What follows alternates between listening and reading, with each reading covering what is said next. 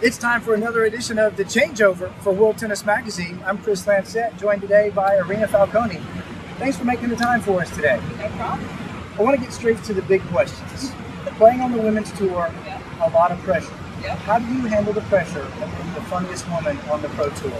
It's pretty difficult. Um, you know, I definitely have a lot of people that uh, are looking out and making sure that I have some pretty clever response to almost everything I say. So I just have to be on top of my game. But it's, I mean, with WTA, I mean, it's just ugh, awful. So, do you have a team of writers behind you that are invisible to the human eye? Absolutely not. Just all the ones in my head. That's fantastic. Yep. Who makes you laugh? My coach makes me laugh. My cats. Your cats. How many cats do you have? Three cats.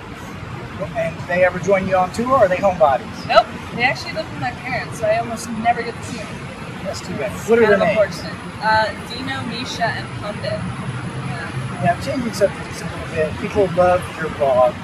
Uh, and is it any Hooser or any Hauser? I want to make sure I have Any it. boozer. It's any Hooser. That's a great transition. I Don't know what part of speech that is, but we love it.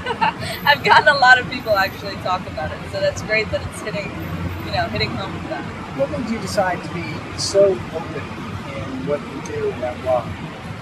Well, I definitely think that so many people are just so bored with the mundane. Oh, I hit cross courts today, I hit down the lines today. So I figured I'd spice it up a little bit, and um, you know, it, it's fun to throw in a, a joke here and there. And people want to know what tennis players are about, not just on the court. You know, they want to know that they're people too um, off the court. So I just bring that into it, it's been fun, and I've got nothing but positive feedback. And, and do you find that by being open like that, it does actually increase in your fan base because people have a sense of who you are? Absolutely. Um, actually, my goal is to reach Lady Gaga status of 25 million Twitter followers. I'm at a mere 2,000 right now, so almost there. Actually, I've got 10 more to go. Well, we'll work on that with more Tennis Magazine, and we'll get that tweeted out and try to help that grow. Got to change the subject on you a little bit. I'm from Atlanta. You went to school at Georgia Tech. I need to know, true answer, college coach ever let you go to Fat Matt's Rib Shack up the street from your school?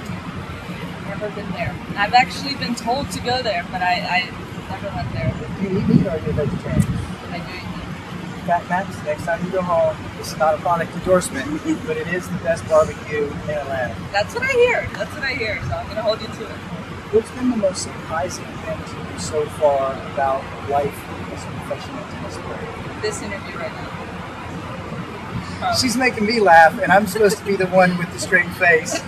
Uh, Irina, I'm not quite sure where to go from there, so no, maybe no, you're good. Let me let me go ahead and um, probably the most surprising was um, I got to talk about Arthur winning on Arthur Ashe last year at the U.S. Open. That's that. I mean, not surprising, but it was just so exhilarating, once in a lifetime kind of thing.